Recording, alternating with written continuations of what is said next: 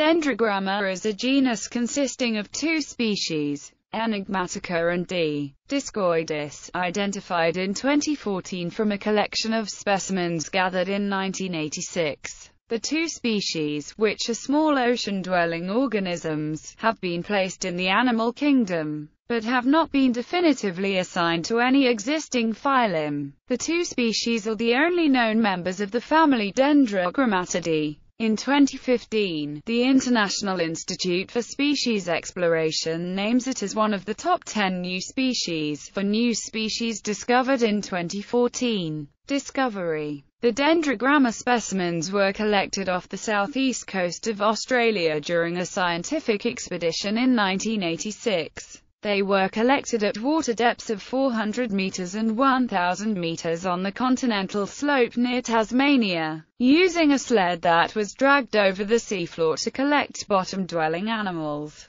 The researchers were immediately struck by the unusual characteristics of the 18 specimens they collected. These were preserved in formaldehyde, and later in ethanol, for further study. On returning to the sample site in 1988, they were unable to find any further specimens. It was not until 2014 that they published the discovery. Jean Just of the University of Copenhagen, who carried out the trawling in 1986, has explained the long delay before publication in terms of the extraordinary nature of the discovery. Once you think you have something really extraordinary, it takes a long time to study, read, consult left, right and center, and convince yourself that you've really stumbled across something special. Naming the genus named Dendrogramma alludes to the branching pattern of the digestive canals, which resemble dendrograms branching diagrams frequently used by biologists to illustrate the evolutionary relationships among organisms.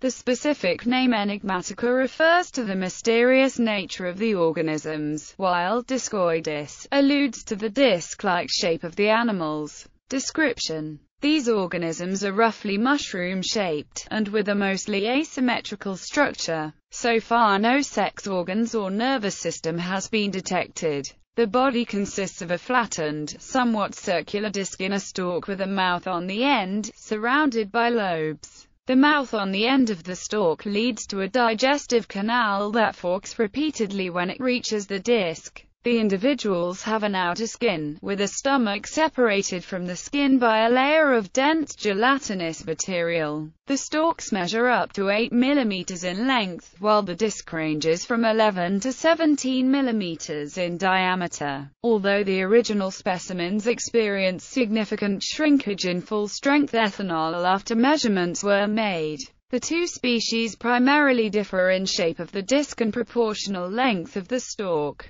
D. discoides has a complete disc and proportionally shorter stalk, while D. enigmatica has a notched disc and proportionally longer stalk. There is no obvious sign that they had a means of propulsion and they do not appear to have been capable of swimming. The small mouth is simple and the manner of feeding is unclear, however. It has been suggested that the lobes around the creature's mouth could have secreted a mucus which was used to capture microbes in the water. Relationships Species of Dendrogramma have a body plan similar to animals in the phyla and Ctenophora, but lack the stinging cells that define cnidarians in the tentacles that define Ctenophorans. The relationship between Cnidaria, Ctenophora, and other basal metazoa is not firmly resolved. Dendrogramma is a basal metazoan, but the sister group to these organisms is unclear. They have been assigned their own genus, Dendrogramma, and family.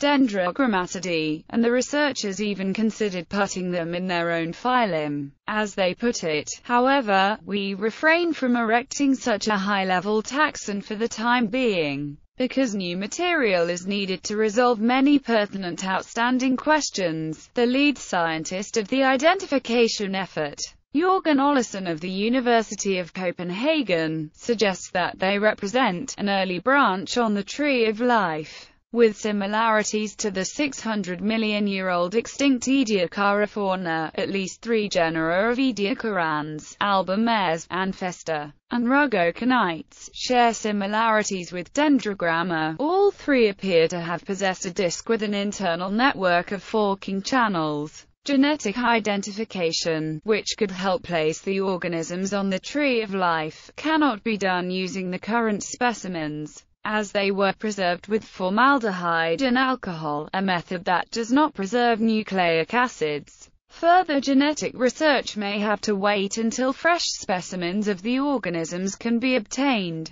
Neurobiologist Leonid Moroz of the Whitney Laboratory for Marine Bioscience at the University of Florida said that if the new genus turns out to be directly descended from early animals, it could completely reshape the tree of life, and even our understanding of how animals evolved, how neurosystems evolved how Different Tissues Evolved, Simon Conway Morris of the University of Cambridge stated that the discovery is a very interesting surprise, and it poses lots and lots of questions. He notes the most intriguing similarity to certain Ediacaran forms, but cautions that the similarities are exactly that. They are intriguing rather than compelling. Nonetheless, if it is confirmed that Dendrogramma is a descendant of the Ediacarans, Reinhardt Kristensen of University of Copenhagen comments that then, we have discovered animals which we'd expect to be extinct around 500 million years ago. The discovery of what potentially could be an entirely new phylum of animals is an extremely rare event, as Jørgen Olesen notes.